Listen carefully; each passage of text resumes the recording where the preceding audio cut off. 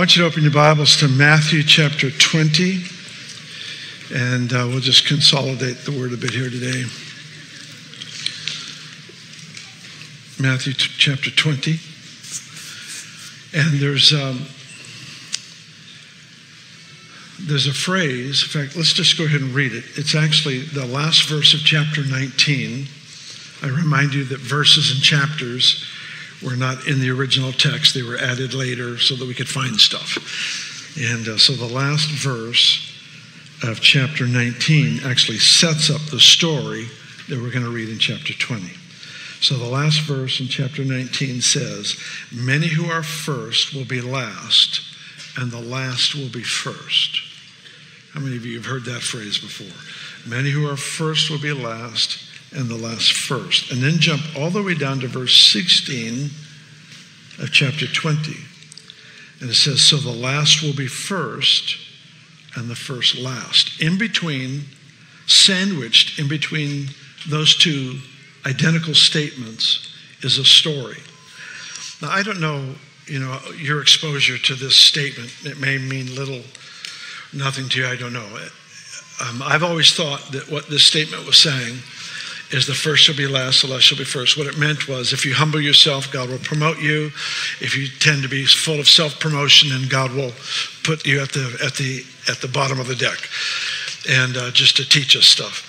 And it's just not the point of the story at all. The point of the story is fascinating to me, and so let's have fun and read through this story. And uh, in fact, let me give you a little bit of a context. Um, one of the themes that we've repeated probably literally 100 times in the last 15 to 20 years is the fact that when people spend time with Jesus, people hang out with Jesus, they desires get formed in us to achieve, to accomplish, for certain destiny, purpose. Uh, these things begin to get stirred up in us. It's hard to imagine how disciples that were fishermen in the Sea of Galilee could ever one day wake up and decide to be world changers. I doubt that they had that desire when they had a life goal of just catching more fish. But something happened in their time with Jesus where they started embracing eternal purpose, destiny, significance, all that kind of stuff, the sense of identity. So being with Jesus actually stirs up passions and desires in us. And the Lord puts us in environments where desires and dreams just start bubbling up. They just start forming. We start, we start thinking things we never thought before. We start praying for things we never dreamt were even possible. All of that is because of our life in Christ. But what happens is the Lord puts us in an environment where dreams, desires, visions, all this stuff start to form in us. And sometimes they can I say it this way? The root system is right, the manifestation is wrong the root system, the desire to accomplish anything is right. But James and John wanting to call down fire to kill an entire city, that manifestation is wrong. All right? The God given ability to dream and to think of impossible things was right. The way it manifested in them was wrong. God never rebuked them for their desires for greatness, He just redefined greatness. You can't prune a branch you can't see. And so Jesus puts us in an environment where things grow that can be pruned. It's the proof you're a son and daughter of God. God rewards all growth with pruning.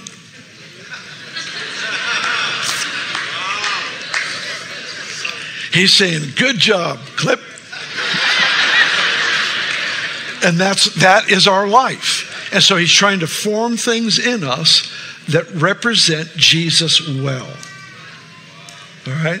So the dreams, the desires, passions, destinies, significance, all these things that are God birthed in us, they all will take on wrong manifestations if left alone. And that's why the Word of God is so vital for us every day. And don't skip the hard stuff. Don't skip the stuff where he says you have to lose your life for my sake to find it. Don't skip that verse. Read it twice. you, you got to read it. Why? Because it's a sword. It's a it's a it's it's pruning shears. Jesus spoke to his disciples in John 15. He says, he says, uh, you're the vine, uh, I'm the vine, you're the branches. Every branch in me that doesn't bear fruit, the Father prunes it. And then the very next verse, he says, But you are clean already. The word clean there is the word prune.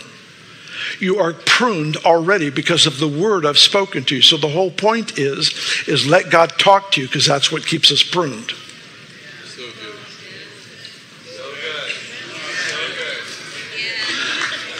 And it's not punishment. When God puts you in an environment where you have all these dreams and visions and aspirations, and He goes, No, we need to redefine this one. He's not punishing He's just saving you from yourself. Yes, He is. He's saving you from yourself. What the Lord does is He disciplines us so that His blessings won't kill us. That's the truth. All right.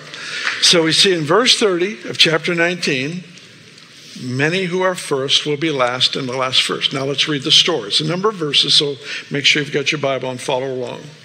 Verse 20 For the kingdom of heaven is like a landowner who went out early in the morning to hire laborers for his vineyard. Now, when he had agreed with the laborers for a denarius a day, he sent them into his vineyard.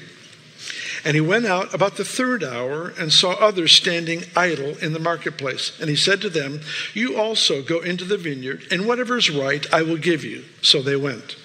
And again, about the sixth hour of the day and the ninth hour, he did likewise. And about the eleventh hour, he went out and found others standing idle and said to them, Why have you been standing idle all day? And they said, Because no one hired us. So he said to them, You also go into the vineyard, and whatever is right you will receive. So when evening had come, the owner of the vineyard said to his steward, Call the laborers and give them their wages, beginning with the last to the first. And when those who came, who were hired about the 11th hour, they each received a denarius, which is what he promised the first group.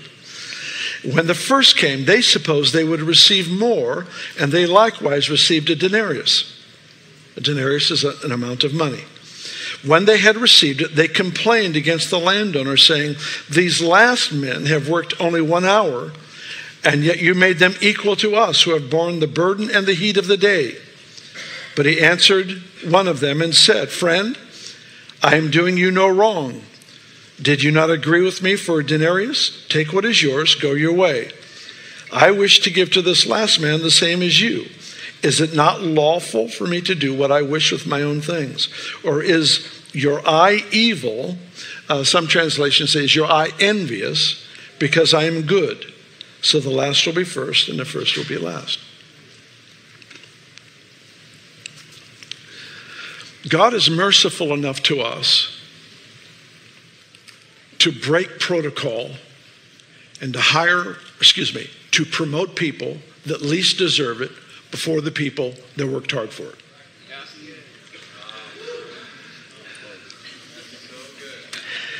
It's the painful truth. It's the painful truth that we know that we come into the kingdom entirely by grace. It's just the way it works. We know that. We know that none of us could have earned this amazing salvation.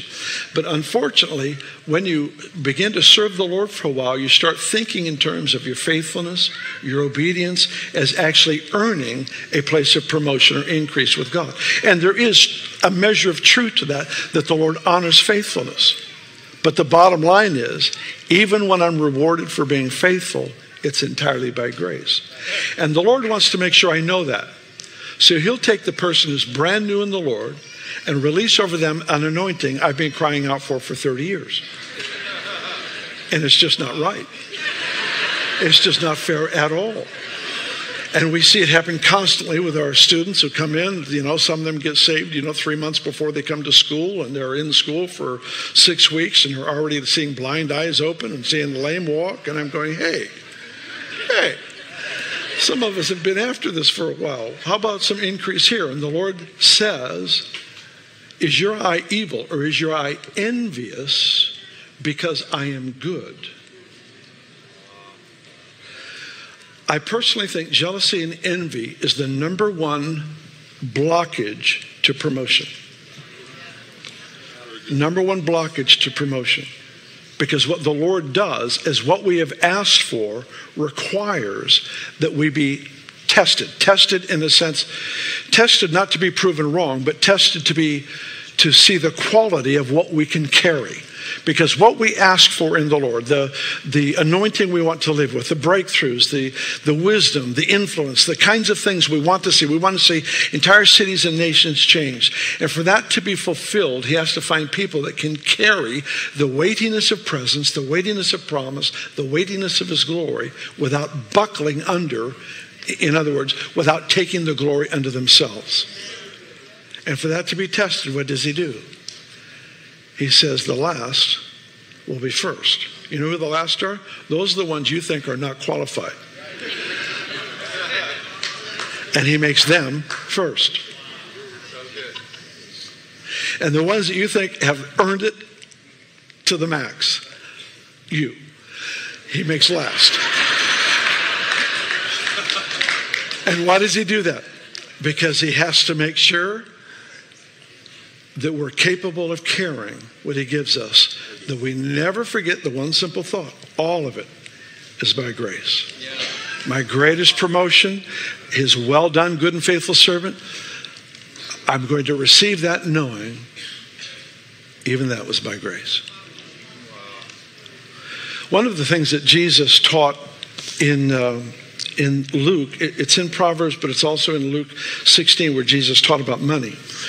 And he said, if you don't know how to handle another person's possession, how will you be able to handle that which is your own? And it's fascinating to me that the Lord actually has a desire for you to have something that you can call your own. I know that we often think in terms of, well, he owns everything. And yeah, that's true, but he thinks differently than we do. The, we have religious mindsets, he has kingdom mindset.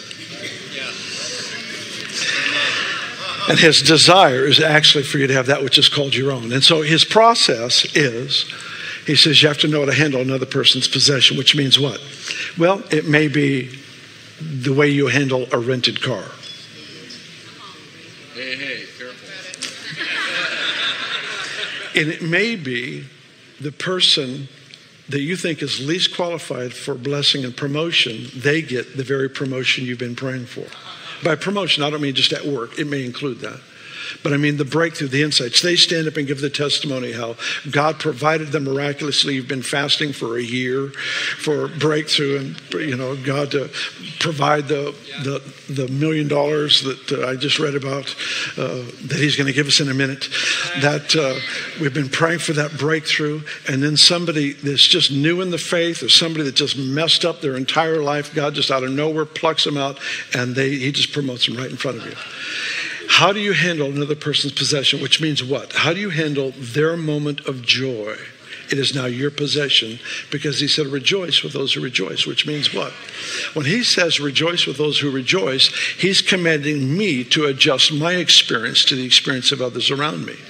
Yeah, but mine's a, time of difficulty. Adjust because they're rejoicing. And if I can't rejoice at another person's victory, I'm not really qualified to have the measure of victory I want for myself the Lord actually tests the waters with us on how we handle other people's promotions, breakthroughs, increase.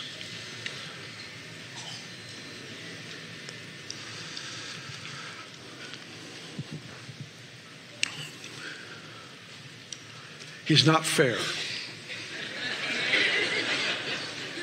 but he is right.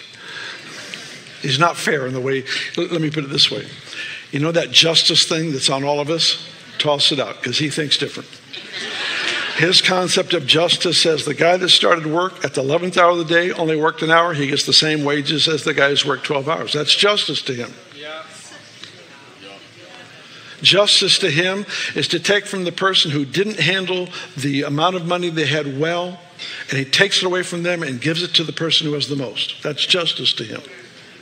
He is just, but it's completely different than your justice and mine. And he's not changing.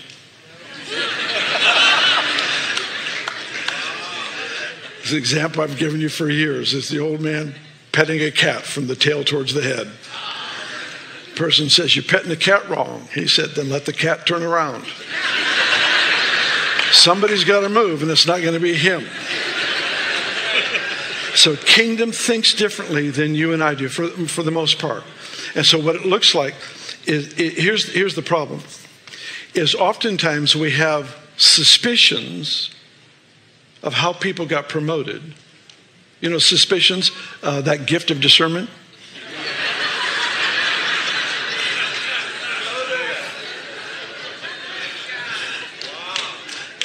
You understand what I'm talking about? That gift of discernment that God's given you, where you know everybody's business and why they did this and why they did that. Yeah, that one. As long as you call something that's wrong, you give it a virtuous name, you're insulating it from God's dealings. And when the Lord exposes that the, it's the envy of the heart that misinterprets God's goodness for what it is, and it actually causes me to interpret it to bring judgment or accusation or criticism against another person. It's kind of a perversion, isn't it, to take God's goodness, take that, and use it as a gift to accuse someone. And yet, that's what he's saying. Discernment is often the title given to hide suspicion. And farther down that food chain is jealousy and envy. And jealousy and envy will keep you from, the, from what you've asked for in God. It'll actually block your progress into the very realms in God that you've asked for. And the best way to deal with jealousy and envy is to acknowledge what it is. Yeah. To acknowledge what it is, to be honest and upfront. Because as long as you protect it, it's like, it's like harboring you know, a poisonous snake and trying to protect it. Call it for what it is, cut the head off. When the Lord put you in a situation where that branch grows, so to speak, or that thing manifests, the jealousy, the, the anger, the envy, the whatever it might be, when that thing starts to manifest, that's in His mercy. He's letting you see it so it can be dealt with. Because whatever you confess and forsake, He takes care of. But whatever you protect, you'll have to manage. Right?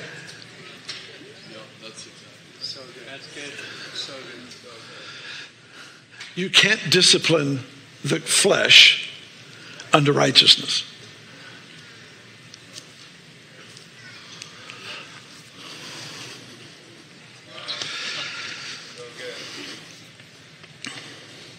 I, I've been running an experiment for the last couple months. I, I'm a little bit embarrassed. I, I, I can't say that I learned this 20 years ago. It's only been the last maybe three months at the most.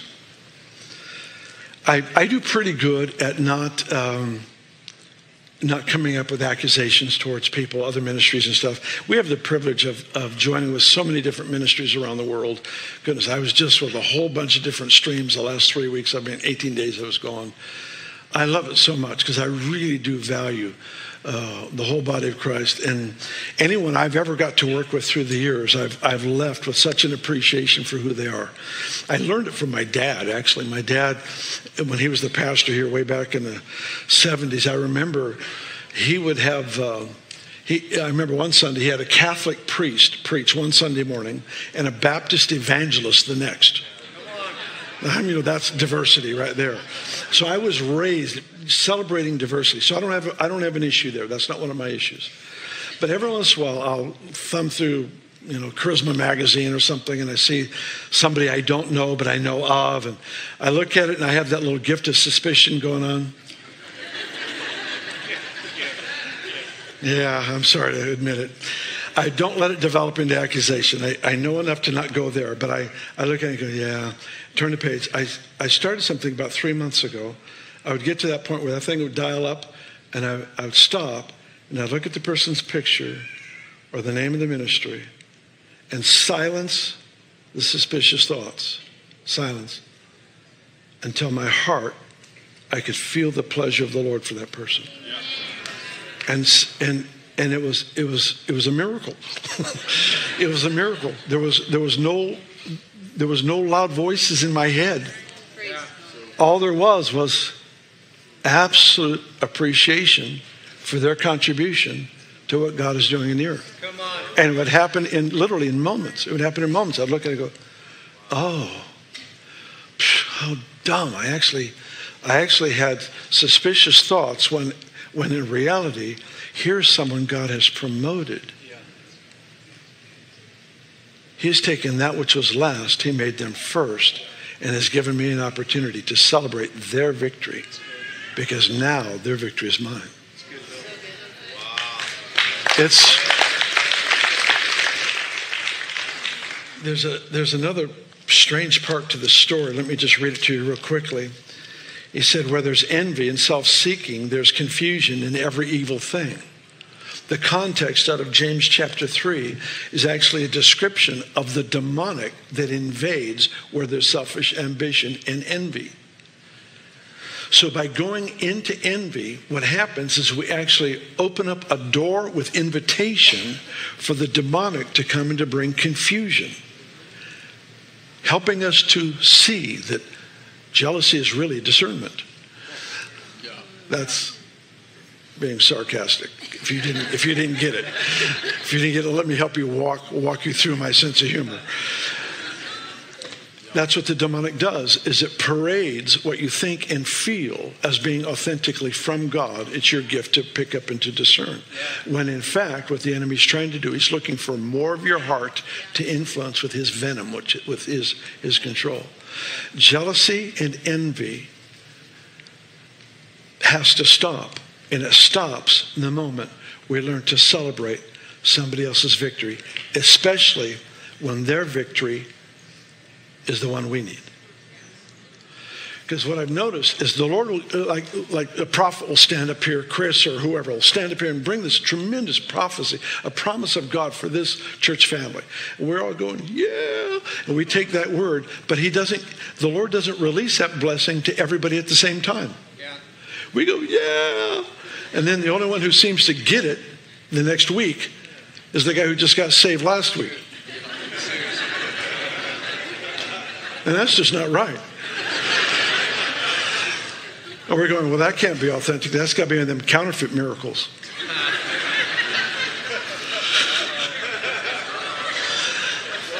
See, if you can put a spiritual title on whatever you're suspicious of, then you've protected your own, you know. Oh.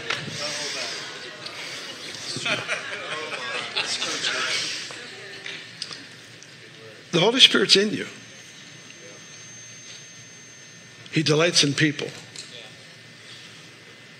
Quiet the suspicious thoughts. Look someone in the eye. What I, what I actually will, will do often, and for, forgive me if this is abstract and awkward to you, but for me, this is how it works. If I, if I can put my hand on somebody's shoulder, I usually will feel the pleasure of the Lord for them. That's probably why I'm so touchy.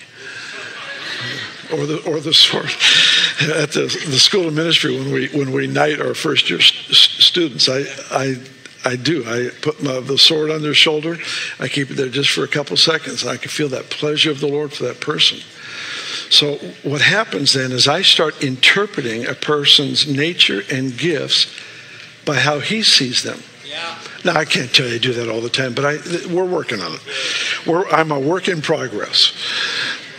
There's progress. The finish line hasn't come yet, which I'm thankful for. I don't plan on dying anytime real soon. But uh, you get the point. The point is, is that jealousy, selfish ambition, self promotion, these kinds of things are killers in an atmosphere where you're given permission to dream. Where you're given permission. What happened to the disciples? Jesus comes along, he says, Whatever you ask for, I'm going to do for you. Abide in me, my words abide in you. Ask whatever you want. Ask the Father in my name, and whatever you ask him in my name, I'm going to do for you. And he gives all these promises, and the disciples, they, they start saying, Well, there's a city over here that wouldn't let us even walk through town, and we'd like, with your permission, to call down fire on them and kill them all. I mean, you know, that fits into the category whatever you ask. And Jesus always reserves the right to say no to whatever undermines your purpose. The disciples are empowered to heal the sick, raise the dead, cast out devils. They come back thinking they're more significant and more important than the other one. What does Jesus do? He says, Good, that's a branch I can see. That one's got to be pruned. And they say, well, this group, we're better than that group. They, they tried to cast out demons. We told them not to. Even though they were doing it your name, we knew it just wasn't right because they're not with us. So, in other words, we know we're not better than each other, but certainly as a group, we're better than them. And Jesus says, Yep, that branch grew right where I can see it. Let's prune that one back. And, and that's what he does. He puts us in, he doesn't kill the plant, he prunes the illegal expression of kingdom ideas.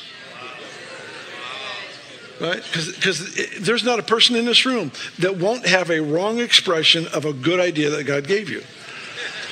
That's why we need the constant exposure to the voice of God, the written word of God, where He speaks to our hearts and He says, I'm forming this in you, but I'm not forming this in you. And so we're going to prune this back. We're going to cut this back. Why? Because jealousy will keep you from what He's called you to. And just to make sure we get it, He promotes people around us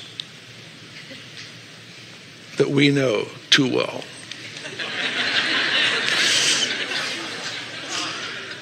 And perhaps God hasn't talked to us about why they don't deserve that promotion. I, I, am joking with you. I think we've all struggled with it, but we've all succeeded as well. None of us got here because of our works. And I love how the Lord is taking people who just came into the things of the kingdom and things that honestly I, I spent 20, 30 years pursuing, crying out for. And they get it in weeks. It's just like the Lord, and it is beautiful.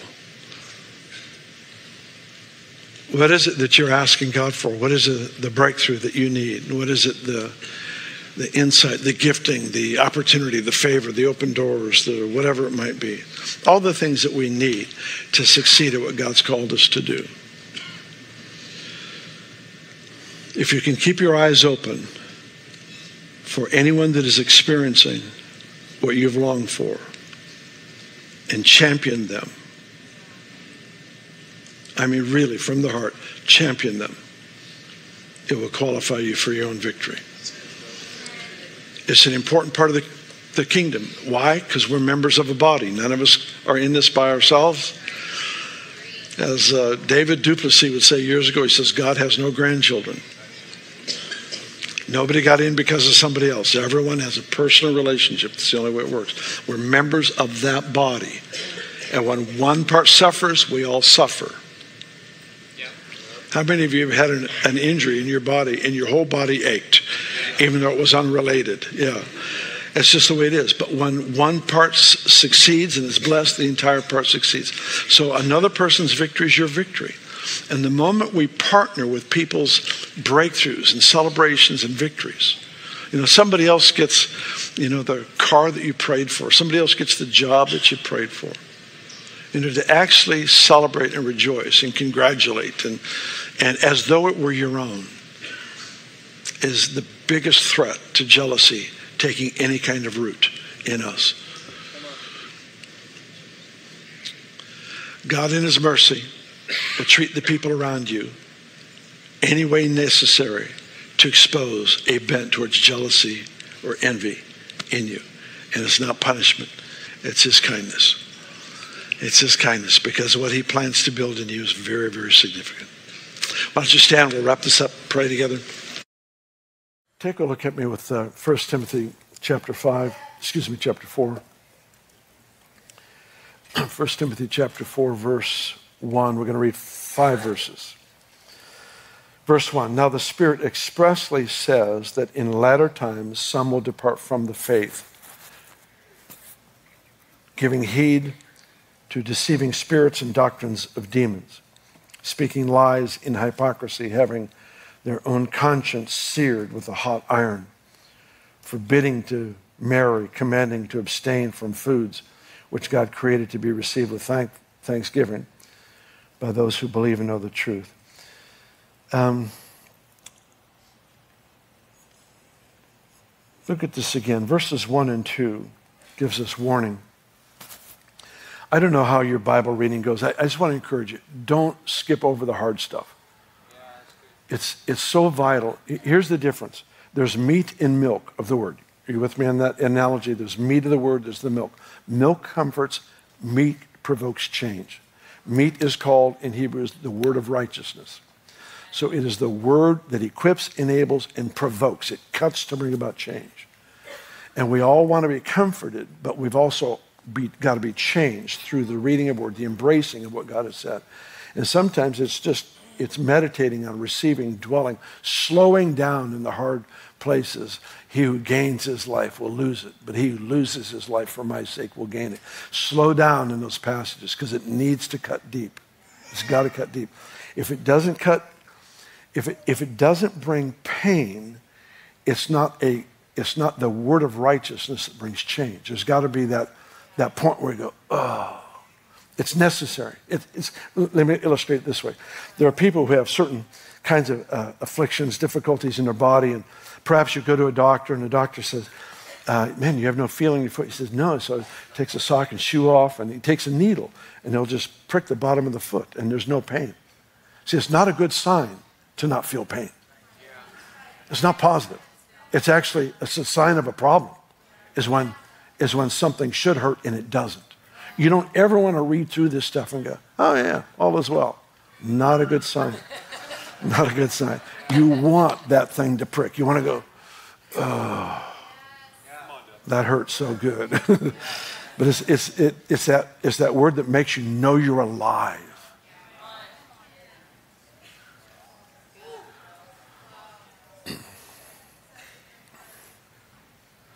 So he talks about those who fall away from the faith. Interestingly, verse 3 says, forbidding to marry, commanding to abstain from foods which God created to receive with thanks, uh, thanksgiving. Let, let, me just stop there. This is kind of a, a, a weird deal. Paul's warning uh, Timothy and, and, the group that he leads, he's warning them. He said, listen, um, we know people's hearts are going to grow cold. They're going to become deceived by demons. This, all this junk's going to happen. And out of that group is going to come a list of rules, non biblical rules. Now remember, the Bible does give us commands, and don't ignore them just because you live under grace. Grace doesn't give you a pass to skip the rules, grace gives you the power to do the rules.